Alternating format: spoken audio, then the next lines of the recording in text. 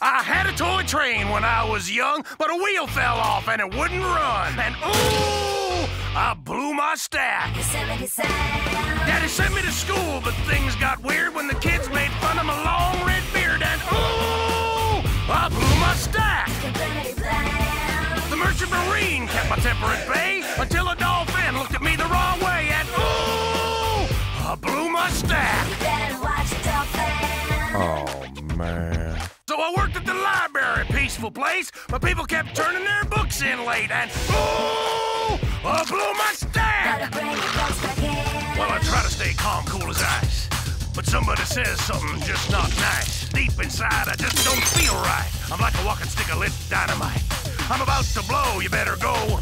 You're about to guest star on the Blow My Stack show. Show, show. Anger management classes. count to ten, but I only get to three, and then, guess what? I blow my stack! You didn't get to ten. Hey, quit rubbing it in! Sorry, Sam, that's what happened. It's like you're trying to get me to blow my stack!